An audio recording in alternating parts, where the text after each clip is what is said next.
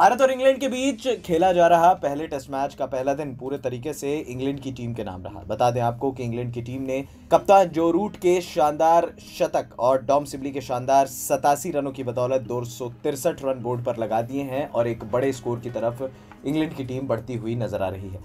लेकिन आपको बता दें कि इस मुकाबले में एक ऐसी चीज़ भी देखने को मिली जिसने करोड़ों फैंस का दिल जीत लिया।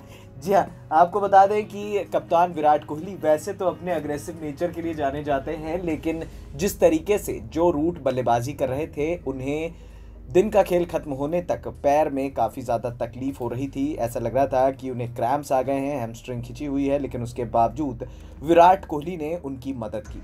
विराट कोहली ने जो रूट की मदद करके एक बार फिर क्रिकेट फैंस का दिल जीत लिया है, और एक बार फिर क्रिकेट फैंस को ये बता दिया है कि अभी भी क्रिकेट जो है, वो लोगों के जहन में ज़िंदा है। अभी भी क्रिकेट जो है, वो लोगों के दिल में ज़िंदा है। अभी भी क्रिकेट जो है, वो रोमांचित है। दरअसल विराट कोहली ने जो रूट जब दर्द से करा रहे थे और अपने फिजियो का इंतज़ार कर रहे थे, उस दौरान तुरंत विराट कोहली भाग के गए और जो रूट की मदद की। और जो रूट की मदद करने के बाद उन्होंने रूट को ठीक किया। रूट भी काफ़ी हँसते हुए नज़र आए, जिसके बाद विराट कोहली के इस जेस्टर की तारीफ़ पूरी दुनिया में हो रही है। एक बार फिर विराट कोहली ने सभी का दिल जीत लिया है। एक बार फिर विराट कोहली ने बता दिया है कि वो क्यों दुनिया के महान खिलाड़ियों में से एक गिने जाते हैं। जितने अग्रेसिव विराट हैं, उतने ही अंदर से नरम भी हैं। यही वजह है कि एक बार फिर विराट और रूट की ये जुगलबंदी देखने वाली बात है।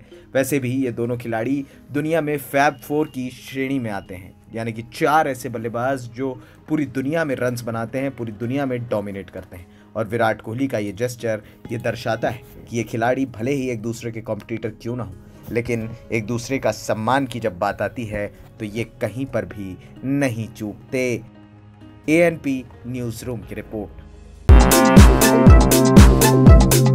ち?